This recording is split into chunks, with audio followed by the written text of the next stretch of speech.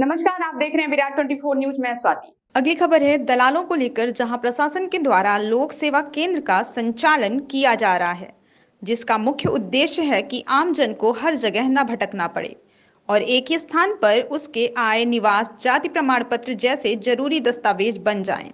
लेकिन इन केंद्रों पर भी अब दलाल सक्रिय हो गए हैं ताज़ा मामला रीवा कलेक्ट्रेट के सामने संचालित लोक सेवा केंद्र का है, जहाँ वृद्ध के साथ ठगी की गई है वृद्ध ने बताया कि उसके फार्म में कुछ कमी थी, जिसे भरने के नाम पर एक व्यक्ति आया और अपने आप को वकील बताकर उससे सौ रुपए ले लिए और उसकी रसीद भी नहीं दी और ना ही उसके दस्तावेज़। ठग ने जो नंबर लिखकर दिया था, वह नंबर भी अब बंद बता रहा है।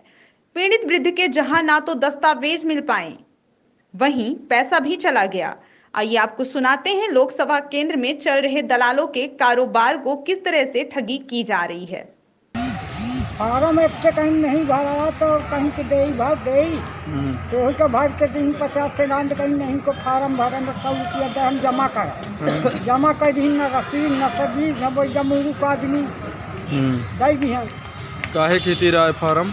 ये जात निवास नाती के आ। कब के बाद यह काल के। का कहीं कहीं के में ही तो काल दे दे।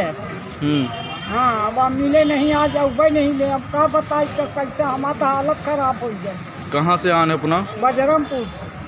का नाम है? शोभना सके अच्छा ये नंबर में फ़ोन लगाई थे तो का नहीं उठा बताही नहीं कल से आठ बजे कहीं तो आठ बजे लग नहीं बिछाएँ तो साढ़े आठ बजे लगाते नहीं बिछाएँ हम पुनः आठ बजे सुबह लगाते नहीं बिछाएँ का नाम बताई था अपन?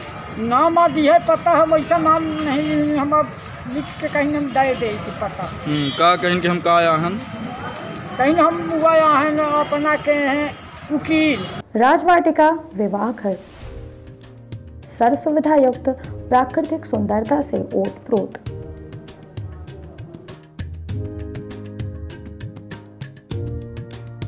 राजवाटिका विवाह घर में एंगेजमेंट तिलक शादी रिसेप्शन वेडिंग शूट जन्मदिन पार्टी जन्माशा सहित अन्य कार्यक्रमों के लिए विवाह घर उपलब्ध।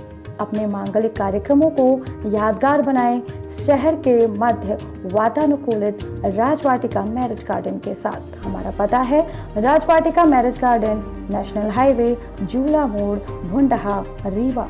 अधिक जानकारी के लिए संपर्क करें nine eight two seven zero zero four two five one.